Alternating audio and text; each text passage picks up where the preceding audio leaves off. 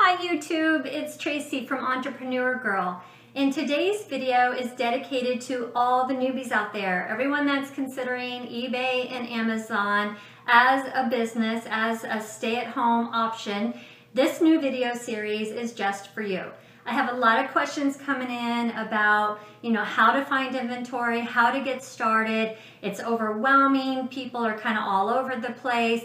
And that's exactly right. I think YouTube is so beneficial. We can learn from each other. It's free. We can watch a gazillion videos about just about anything we want to know about. It's amazing, but it can be extremely overwhelming. So this series is just going to take it a little piece of information that you can chew at a time with each video. So today's video is going to be dedicated to having a, an understanding about the low risk involved with starting an eBay or Amazon business. And then we're going to talk about setting up your office space. And then we're going to talk about having the equipment that you need. So we're only going to cover three things. Very doable, very easy, not overwhelming. So take a deep breath and let's just chat for a minute. So right now we are in my eBay Amazon office. And my story for you is I started eBaying about five years ago. And I started very small. It was a summer activity just to kind of supplement, just to kind of give me some extra money for kids camps and vacations and that over the summer. So I started selling homeschool curriculum and things that I had around the house. Cleaning the closets, cleaning the garage out. I got rid of some old homeschool curriculum that I didn't need anymore. I thought I would make a few hundred dollars. I would apply that to vacation and camps and everybody was happy.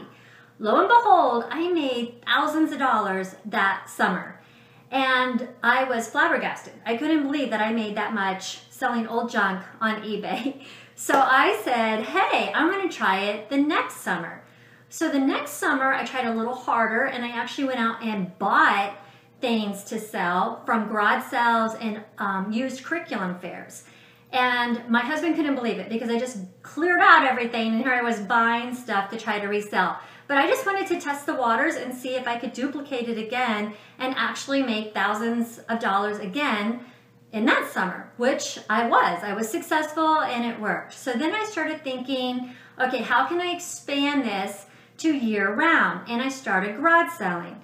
Now, what I want you to take from all of this is, first of all, eBay and Amazoning and starting your own business is a process. It's a very viable business, but it's a process. Most likely, you are not going to wake up tomorrow and be making 60 grand. What you need to do is start small, build up, build up, build up, until you have a viable business that supports you at home. But the risk of starting the business, which is probably what is scaring you right now, is so small. And that's what I want to talk to you about in part because when you think about an online business, your investment, you don't have a storefront, you don't have employees, you don't have a huge risk. You don't have to go out and buy huge pieces of equipment. You need very little to start an Amazon and an eBay business. With Amazon, you can list as many items as you want and you don't have to pay until they're actually sold. So there's very little risk in that. eBay, it's only around 30 cents an item to list. So again, we're not talking huge dollars that you have to, you know, fret in the middle of the night that you're going to lose because the startup risk is very small.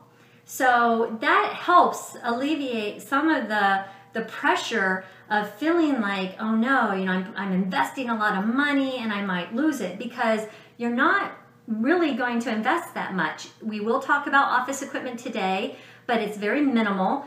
A lot of it you probably already have at home or you can buy pretty cheaply. So really for just, you know, a couple hundred dollars, that's all you're going to have invested at first. It takes very little um, money because you can start from buying, from getting things out of your closets and your garages and just deep cleaning your house. Then you might have friends or relatives that have a bunch of stuff they want to get rid of. If Even if you do go and purchase inventory, you can start at garage sales or Goodwill stores, thrift stores, where you're purchasing items for dollars. And you can buy a hundred items for a hundred dollars and you can try it that way. So still your money risk is still very, very low. Another thing that's really great and helps alleviate some of the fear is you can do this, you can start this while doing something else. So maybe you're working full time right now, but you would like to be, you know, stay at home mom, or you're working full time, but you really want to, you know, travel a lot. Whatever your reasons are, you can be building this on the side while doing something else. And it also complements really well if you have another source of income that's online. Like I also stock trade, you know, maybe you're a virtual assistant, maybe you blog, I don't know, but it, this can supplement whatever you're doing wherever you are. You can start dedicating, you know, four hours a day, two hours a day to building this business. Obviously, the more time you spend, the faster your business is going to grow. But I'm just saying that it doesn't have to be so scary. It's not like you have to stop whatever you're doing and take the plunge. You can still do whatever you're doing and start to build your business and learn about it and let it grow first. And the other thing that will probably make you feel better is that this truly is a viable business. I'm not saying this because I need, you know, to trick you. I'm not affiliated with eBay or Amazon. I don't make any money from any of this. So, you know, there, there's no reason for me to tell to lie to you about that. Um, I made thousands in the summer. Obviously, I can't live off of a few thousand, so I've had to to grow it from a few thousand to 20,000. You know, now my goal is 4,000 a month and that's kind of, you know, what I'm trying to be consistent with every month right now. And eventually my goal is 8,000 a month. So it truly is a viable business, but you have to treat it like a business and you have to put the time and effort in. A lot of people that I talk to, you know, they've eBayed and they haven't been successful. When I get into the conversations with them, I find that it's because it's something that they're doing for an hour on a Saturday. And if you're going to do this for an hour on a Saturday, you're going to have those types of results. You're not going to make, you know, the type of money that you want to make. So you have to look at this like a true business startup. You have to look at it that it's a business startup with very little risk, very little money and overhead, and it is it is something that can support you. You just have to put the time and the effort in. So I'd like to end that with telling you, please, please, please give it one year. Do not quit for a year. You're going to make mistakes. You're going to feel like a failure on some days. You're going to be successful on other days and feel really confident, but you need to give it a full 12 months. It needs to be more like, okay, self, I'm going to dedicate one year to growing this business and see if it's going to be something that works for myself and my family or it's not. And the mistakes that you make along the way, which you will make, you need to look at those as business expenses.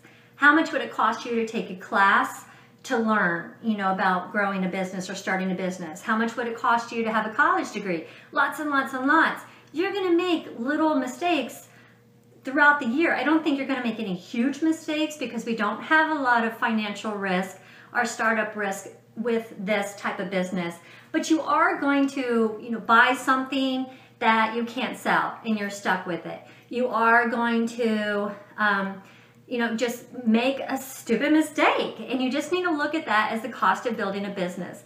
Everyone that starts off makes mistakes. When you learn baseball, you have a lot of strikes. When you learn to ride a bike, you fall down a lot. So this business is going to be no different. You're going to make mistakes, and I've made mistakes. Perfect example is this YouTube channel. I started this YouTube channel not that long ago and I make mistakes all the time. Yesterday's video was awful. I looked at it today, the sound quality was bad, the picture was bad. I'm like, oh my gosh, you know, I'm gonna lose the subscribers that I have. It was it was a mistake. So what do I do? Just go, okay, I'm just gonna close down my YouTube channel. No, I have to learn from that. So today I was on Amazon looking for external microphones and looking for external computer cameras so I can have them on my desk. You can hear me you know, louder and clearer. The picture is clear, has better megapixels.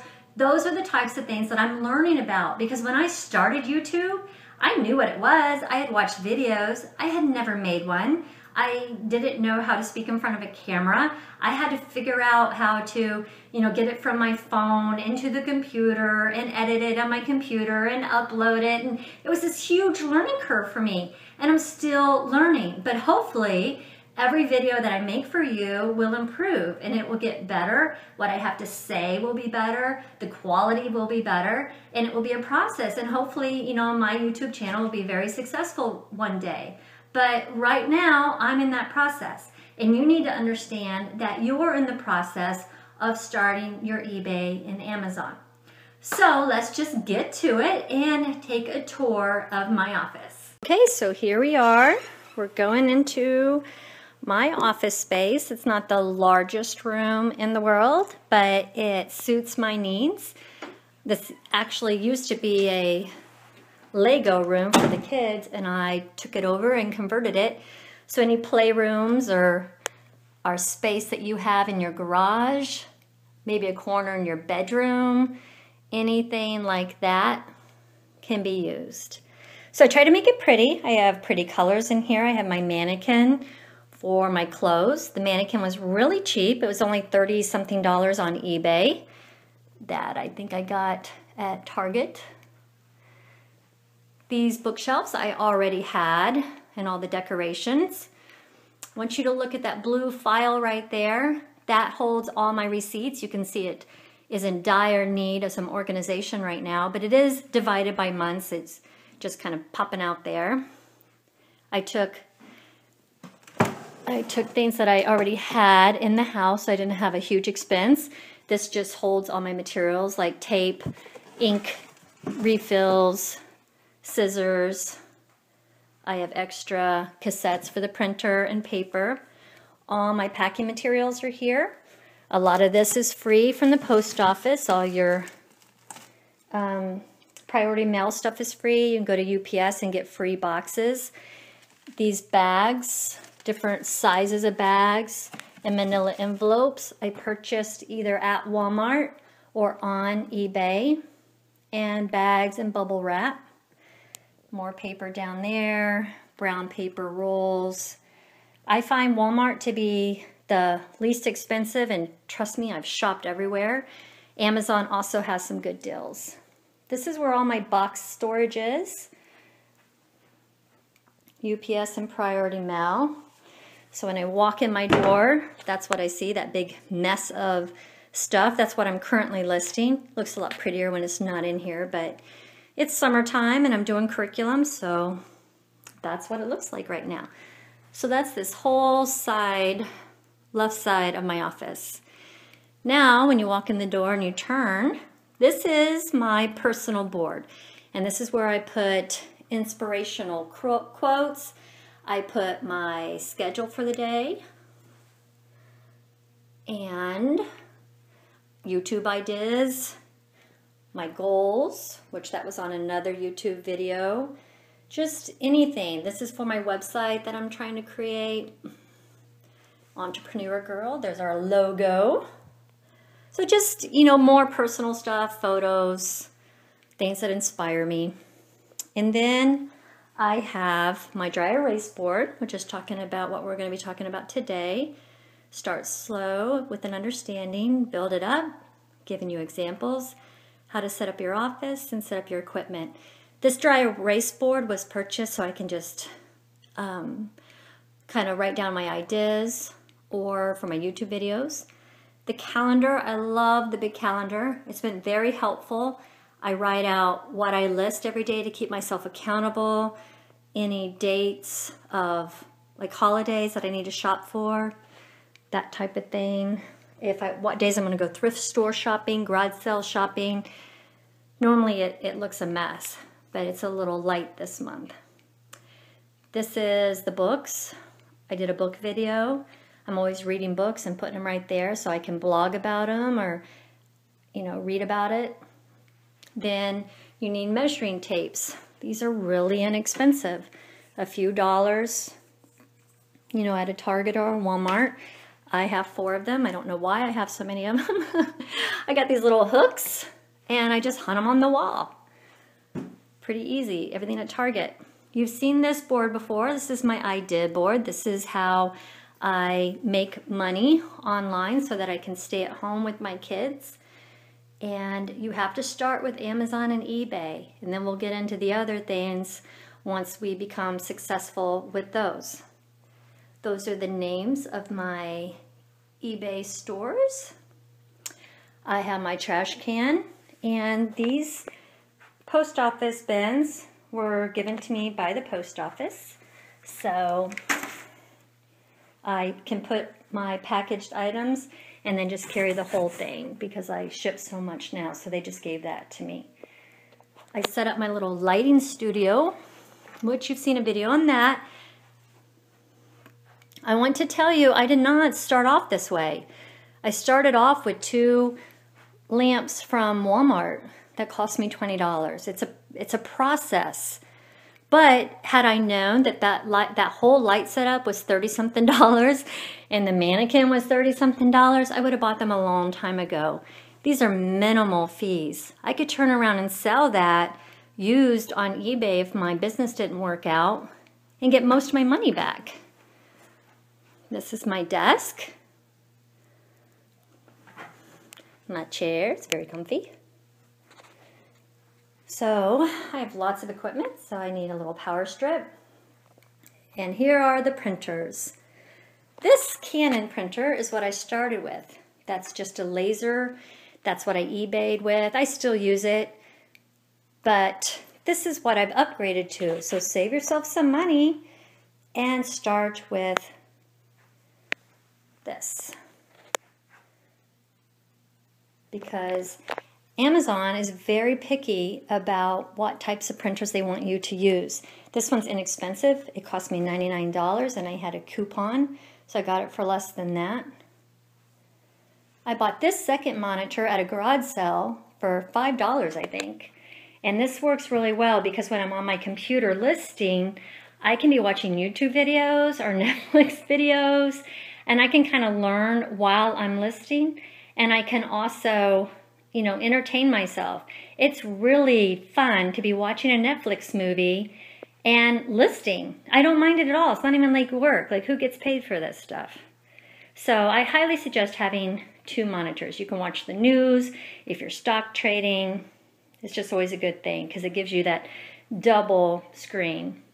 You have to have a computer, obviously, to do online listing work, and you have to have a smartphone, or I would encourage you to anyway. I'm holding it, so I can't show you mine, but I have an iPhone, and I love it because you can have apps that you will use to price out your inventory, but we'll get to that. Right now, we're not being overwhelmed. We're talking about how easy it is to start up, what low risk it is, and I'm showing you my office and that's just miscellaneous supplies, markers, scissors. This is great. It's furniture wrap, but I use it to wrap things for Amazon. Tape. This is a lint roller to roll my photo area. Headphones, stamps, candle. All right, so that's the office. Another piece of equipment that I use is a scale. This is the type that I have chosen because it weighs, you know, up to a couple hundred pounds. So I can put big, or I think it's 100 pounds maybe. I put big boxes on this, or I can put as small as, you know, an envelope on it. And when you have a big box, you can hit hold and it'll hold the value for you so that you can actually see the weight after you move the box instead of trying to look around the box. You can also mode it so it's in, you know, ounces and kilograms. So this is the type of scale that I use. You'll need to get some scale. This was really inexpensive. I got it from Amazon and I think it also was $30. It seems like everything I buy is around $30. So again, not very much money at all. The place I want to show you is my garage. You can tell it's my garage. this is where I house my inventory. And I chose, which I showed you in other videos, to use banker boxes that I put um, a piece of paper on. They're color coded, blue, orange, yellow, pink.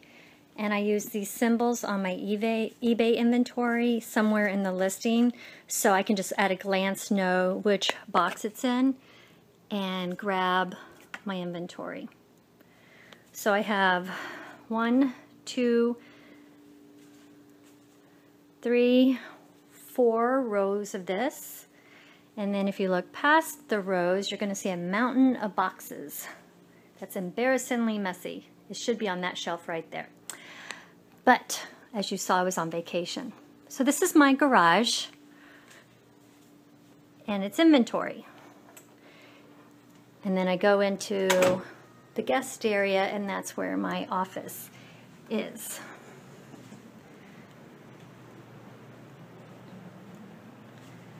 And that's what I showed you earlier. So that's my setup. Okay, so here's a little recap of what we talked about. Number one, start slow, build it up over time. I gave you examples of how I did that.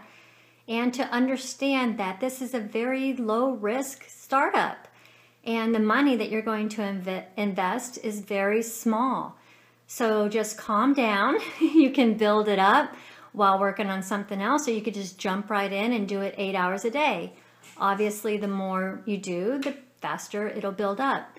It is a viable business. You can work from home and do this, and you need to stick with it for a year. Whatever mistakes you make this year, just count as a business expense or a business class. The second thing you need to do is set up your office.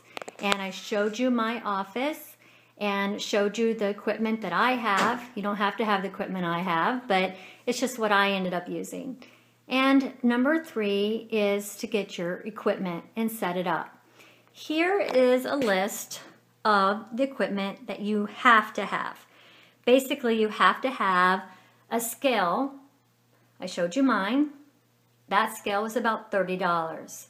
You have to have a computer, which you probably already own. You have to have a smartphone, which you probably already own.